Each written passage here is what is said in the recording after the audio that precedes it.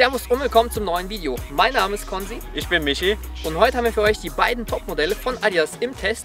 Zum einen den X16 Plus Pure Chaos von Thomas Müller. Und den Ace 16 Pure Control von Pogba. Und welcher der beiden Modelle besser abschneidet, das seht ihr jetzt. Viel Spaß beim Schauen.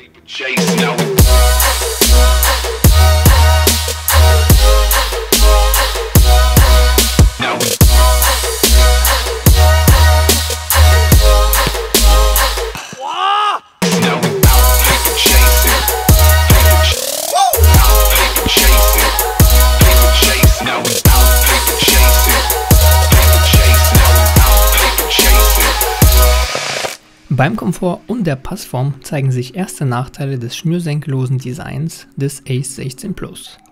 Der Fuß sitzt zwar gut im Schuh, bei schnellen Richtungswechseln fehlt aber die nötige Stabilität und Erhalt, den man durch die Schnürung wie im X16 Plus bekommen kann. Außerdem gab es Druckstellen bei einem von drei Testern im Fersenbereich. Dagegen ist der X16 Plus Pure Chaos deutlich komfortabler. Direkt nach dem Anziehen fühlt sich das Material sehr weich und komfortabel an. Nach einigen Stunden wird das Tragegefühl noch besser.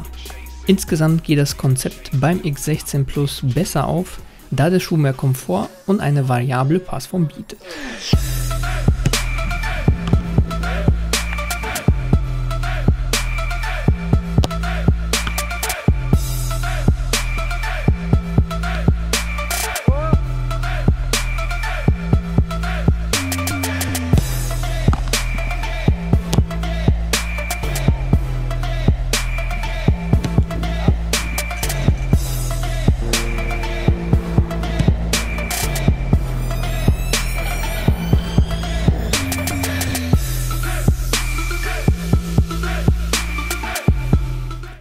Hier können beide Modelle auftrumpfen.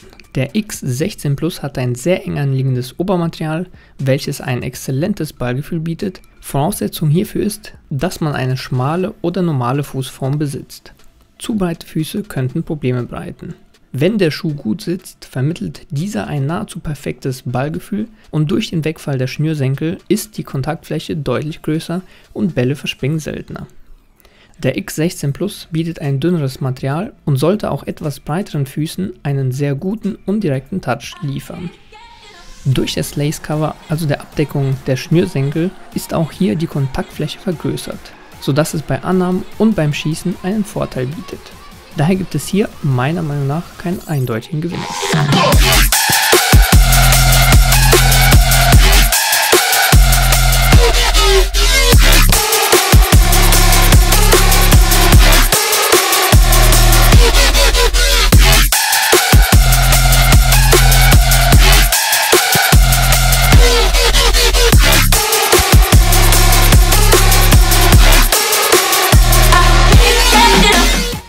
Mit dem Ace spielen wir seit circa 8 Monaten und hatten bis auf das Abblättern der Farbe kaum nennenswerte Abnutzungsspuren zu verzeichnen.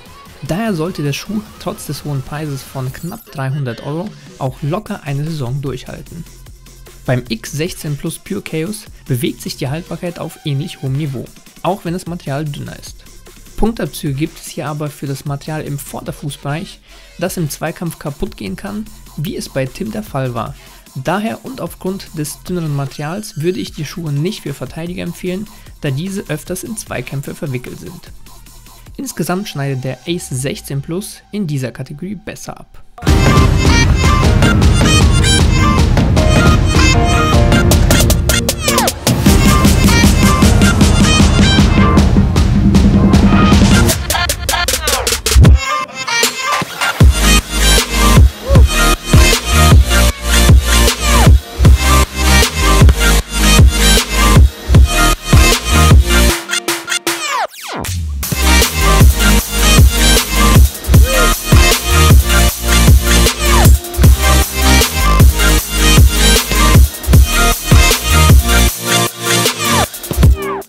Vergleich der beiden Topmodelle von Adidas zeigt sich, dass die teuersten Modelle nicht immer die besten sind.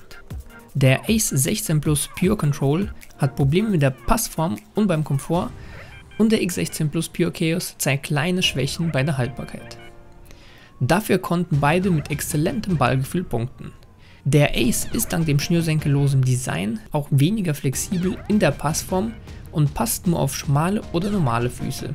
Der X16 Plus sollte auch mit breiteren Füßen keine Druckstellen verursachen. Daher bekommt der Ace 16 Plus von uns keine Empfehlung.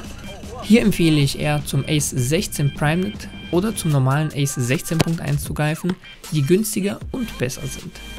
Der X16 Plus ist empfehlenswert, jedoch mit 300 Euro recht teuer, aber besser als das Takedown-Modell der X16.1. Als Alternative kann ich den Vorgänger X15.1, den alten F50 oder den Vapor 10 oder 11 empfehlen, die ungefähr die Hälfte kosten und in vielen Kategorien besser abschneiden. Was ist eure Meinung zum Ace und X16 Plus? Welchen würdest du nehmen? Schreibe deine Meinung in die Kommentare. Wenn dir der Test gefallen hat, würden wir uns über eine Bewertung freuen. Ansonsten bedanke ich mich fürs Zuschauen, bleibt sportlich und bis zum nächsten Mal.